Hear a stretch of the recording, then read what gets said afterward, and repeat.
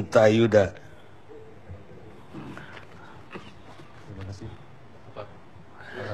Ya, pertanyaannya jelas dari judul tepatkah putusan Jokowi? Sekarang secara politik saya ingin lihat. Ya, kalau saya sebelum menjawab tepat tidak tepatnya mungkin berangkat dari apa namanya karakter ya Pak Presiden uh, dari awal ketika mengambil keputusan sejak uh, pembentukan kabinet paling tidak ada tiga hal. Satu, uh, kerap ini strategi bagian dari uh, karakter dan strategi politik menurut saya adalah menggunakan atau meminjam tanda petik tangan instrumen lain untuk mengambil keputusan yang dianggap sulit dalam situasi yang sulit. Yang kedua adalah mengatur timing, waktu, momentum, dan yang ketiga membuat penyeimbang dari tanda petik lawan politik.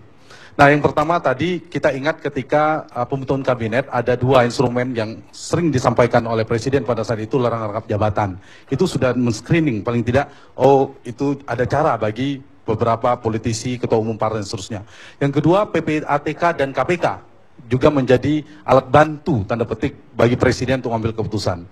Nah, dari keputusan untuk tadi istilah Pak Refli ada tiga. Saat, saat yang pertama soal melantik, saya melihat memang uh, Pak Jokowi uh, mungkin awalnya ada keinginan untuk tidak melantik itu diserahkan kepada DPR ketika ada keputusan dari KPK, tapi ternyata dugaan itu kemungkinan ya, dugaan itu agak meleset. Ternyata DPR justru mengokohkan, agak menyulitkan. Kalau gitu menggunakan bisa jadi tangan publik tanda petik, yaitu uh, tim 9 ada Pak Buya Sabi Ma'arif dan seterusnya. Dan yang ketiga mungkin dugaan yang ketiga di pra peradilan agak mungkin kalah, uh, mungkin tidak dikabulkan. Ternyata tidak ada pilihan sehingga uh, itu yang membuat lama dalam dalam dalam perspektif ini yang mungkin akhirnya harus mengambil keputusan.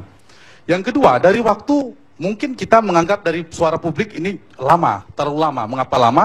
Karena kalau terlalu lama mengambil keputusan, mungkin aman bagi seseorang yang sedang berkuasa, tetapi menimbulkan akan memunculkan tanda petik ya tumbal-tumbal politik yang sebenarnya tidak perlu terjadi kalau keputusan segera dilakukan.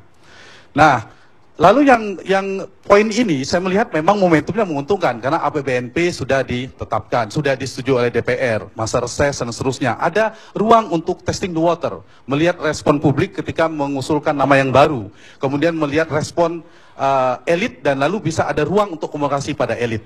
Yang ketiga adalah penyeimbang dan ini pola ini ada memang kemiripan dengan presiden sebelumnya Pak SBY juga dalam beberapa hal uh, mengedepankan politik harmoni dan uh, political order, ingin mengedepankan stabilitas tetapi memang agak lama. Nah, masuk pada ingin menjawab pertanyaan Pak Karni tadi, uh, pilihan Pak Jokowi akhirnya melanjutkan diskusi kita sebelumnya adalah menjaga atau merawat kepercayaan publik, melantik tidak melantik pilihannya tadi tidak melantik paling tidak dalam satu sisi memuaskan tanda petik ya ada beberapa ada beberapa hal uh, yang diberikan kesempatan kepada publik untuk paling tidak merespon itu. Nah poin yang ingin saya katakan adalah uh, lebih mudah bagi seorang presiden dalam kalkulasi politik untuk berkomunikasi dengan elit ketimbang dengan publik.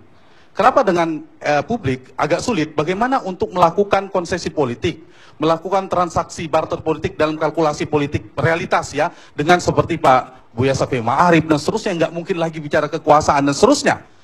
Lebih mudah itu dilakukan dengan komunikasi dengan elit-elit politik, dengan uh, uh, politisi di DPR dan sebagainya. Nah ini yang saya pikir pilihannya realistis dalam konteks dari lihat kepentingan politik uh, politik ya, dalam perspektif politik. Saya tidak tahu kalau dalam kepentingan publik, apakah nanti benar Pak BG akhirnya menjadi Wakapolri misalnya. Apakah betul nanti persoalan KPK akan tuntas atau tidak? Itu akan menjadi uh, babak-babak uh, lain dari persepsi dan apa namanya pandangan publik menurut saya. Nah, tetapi dalam konteks ini, dalam konteks uh, pilihan sulit tadi, uh, agak lebih mudah bagi presiden untuk melakukan kalkulasi implikasi yang sudah dihitung.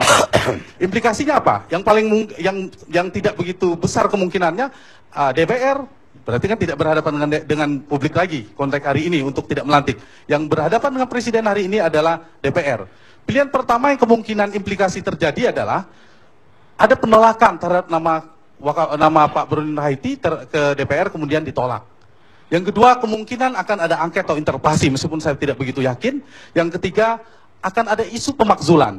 Isu pemakzulan, dan tidak mungkin terjadi juga. Dan ini mirip dengan pemerintahan-pemerintahan sebelumnya. Atau yang keempat, justru, ya tadi kalimat dari Pak Masinton, dari sebelumnya Pak Akbar Faisal, kami memahami pilih uh, keputusan presiden. Kami merasa keputusan uh, presiden sudah yang terbaik. Jadi tonnya sudah bisa dibaca. Kira-kira itu ada ruang paling tidak ya strategi yang dibangun oleh tim presiden akhirnya lebih mudah berhadapan dengan dengan DPR. Ini di luar konteks Pak BG, di, di luar Kapolri. Lebih mudah berhadapan dengan DPR untuk membangun negosiasi politik dengan elit politik dan seterusnya ketimbang dengan pondasi politik. Menurut perspektif Pak Jokowi menurut saya adalah pondasi hanya adalah dukungan rakyat.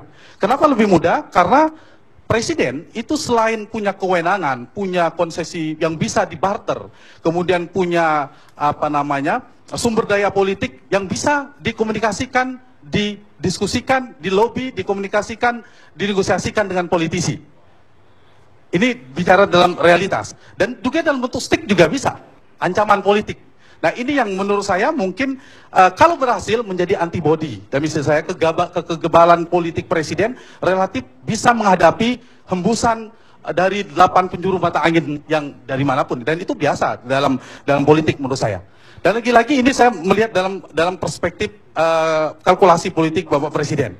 Nah, apalagi karakternya kalau kita perhatikan sepanjang 10 tahun pemerintahan Pak Susilo Bambang Yudhoyono, Presiden ke-6 Republik Indonesia, yang pertama kita lihat karakter partai-partai biasanya kenceng di awal untuk menghadapan Pak SBY, lihat kasus Senturi, lihat juga kasus pajak, tetapi di ujungnya ada kompromi. Yang publik dia, saya ingat betul ada dua partai, lalu yang lain ditinggal. Jadi ada kepentingan hanya untuk memperkuat posisi tawar saja di presiden. Ada yang langsung, ya kalau gitu kami dukung presiden, tapi ada pura-pura menolak dulu. Dan ujungnya adalah itu bagian dari apa barter politik dan seterusnya. Yang itu yang harus diantisipasi. Yang kedua adalah arah langkah politik yang kalau kita perhatikan, kebetulan saya melakukan riset juga, dengan data ini tentunya, adalah memperhatikan citra publik. Jadi itu saja yang terus berputar antara menjaga citra publik, atau tadi, ya apa yang bisa didiskusikan, yang bisa dikomunikasi dengan uh, presiden. Karena presiden itu kekuasaan agak kuat dalam sistem presidensil, punya gula-gula politik, tapi di saat yang sama juga punya stick politik yang bisa dimanfaatkan. Nah, saya punya catatan lain terhadap KPK, memang ini akan ramai, ramai sekali ya, yang membedakan orang akan memikir dengan kasus yang berbeda. Dulu Pak Presiden Yudhoyono pernah membuat tim independen kalau tidak salah, lalu ujungnya Pak Bibit dan Chandra begitu. Dan sekarang orang akan mengarahkan sini. Nah, ini bicara demokrasi, saya tidak saya tidak pandai soal hukum, tetapi orang belum tuntas soal tadi, diskusi tentang kriminalisasi atau bukan, Polri meyakinkan, kemudian iya. Nah, apa tidak lebih baik Presiden punya instrumen untuk menuntaskan persoalan ini? Kalau Pak Yudhoyono selesai menurut saya untuk satu satu ini dan mungkin pada satu titik orang akan merasa merindukan kembali seorang Yudhoyono, Presiden Yudhoyono yang dulu. Nah ini yang belum tuntas. Nah, Bang Ruhut gini-gini. Nah, ya, dalam satu hal paling tidak tuntas. Saya bukan soal keberpihakan presiden, tapi harus tuntas posisi presiden. Kalau memang bisa dibuktikan, ya kalau tidak. Yang kedua soal KPK menurut saya, apa perlu kalau misalnya ada tim yang memutuskan ini tidak kriminalisasi, silakan lanjutkan Polri, atau ada kriminalisasi, itu yang ini kan bicara trust publik, kepercayaan publik yang belum tuntas menurut saya. Hal yang kedua, kalau memang ada persoalan di KPK, KPK didorong untuk membentuk tim uh, apa kalau ada pelanggaran etik di Polri juga ada tim yang melihat benar, benar atau tidak kasus itu. Lalu ya yang normatif soliditas, konsolidasi internal dan koordinasi antar lembaga. Saya kira itu yang belum tuntas dari presiden yang harus dikelirkan. Bagian terakhir yang ingin saya sampaikan Pak Karni, Pak Presiden paling tidak tepat dalam konteks menjaga memelihara dukungan publik meskipun baru saja menaikkan harga BBM lalu diturunkan lagi ya. Nah, tetapi poinnya penting yang ingin saya katakan adalah uh, Presiden punya waktu untuk berkomunikasi. Hikmah terbesarnya adalah Presiden Yudhoyono, uh, Presiden Jokowi dan kita semua melihat bagaimana karakter KIH berkoalisi dengan Presiden hari ini. Dan yang kedua kita juga agak paham bagaimana gaya oposisinya KMP. Agak menyulitkan. Dan pada titik seperti ini tadi kayak KMP bisa bersatu dengan kasus Pak BG. Di pilkada besok, petanya semakin cair.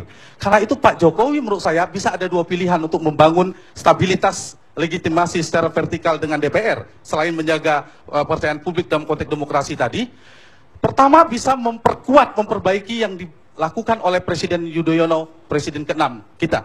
Apa yang dilakukan? Kalau dulu ada uh, setgap koalisi, yang juga sebenarnya agak rapuh. Nah bagaimana memperkuat koalisi? memperkuat koalisi atau pilihan kedua dicairkan sekalian. Tidak ada koalisi menurut presiden. Tidak ada KIH, tidak ada KMP yang adalah DPR di sana, di sini presiden. Karena itu presiden harus pandai-pandai membangun koalisi isu per isu, agenda per agenda, lalu dari nawacita itu dilihat Mana yang bisa dibawa kerjasama? Saya yakin Partai Golkar, Partai Gerindra, Partai dan lainnya di KMP pada titik tertentu, isu tertentu dan terbukti untuk kasus Pak BG ini bisa bersama. Karena itu Pak Presiden saya kira harus punya tim untuk membaca elit. Artinya publik harus di, dijaga betul ya. Untuk elit berarti dari struktur politik, nanti Pak Arbi bisa lebih paham, melihat struktur politik di uh, partai politik kita yang veto playernya 10 itu lebih mudah untuk mengambil keputusan, maka Pak Wapres sebenarnya kalau mau seperti gayanya Pak era Wapresnya Pak SBY dulu itu, Pak Wapres Yusuf Kala bisa mengambil peran strategis mengkomunikasi dengan level-level para ketua umum pengendali partai itu. Itu harus dioptimalkan. Di level yang kedua, para menteri, apakah Mensesnek, apakah polisi PDIP yang sangat loyal kepada Presiden Jokowi atau dari lingkarnya Pak Jokowi membangun komunikasi dengan Komisi 3 dengan DPR dan sebagainya. Itu yang harus dibangun isu per isu dan ke depan ya Pak Presiden bisa mencairkan sekalian. Saya lebih cenderung dari segi akademis agak tertarik yang kedua ada eksperimen politik kalau Pak SBY, Pak Jokowi tidak memilih gaya Pak SBY dengan mencairkan semua koalisi dan mencoba dengan gaya baru dan terbukti dengan kasus ini lalu dengan uh, strategi tim negosiasi, tim lobby yang lebih kuat tadi. Pilih isu per isu. Tetapi seorang presiden tetap harus strong leader. Berani mengambil keputusan dengan situasi apa pun karena tadi sudah ada kegebalan antibody dengan catatan soal KPK yang belum tuntas tadi yang harus dituntaskan. Karena makin lama nanti uh, apa namanya trust publik itu menjadi modalitas menjadi pondasi yang kuat.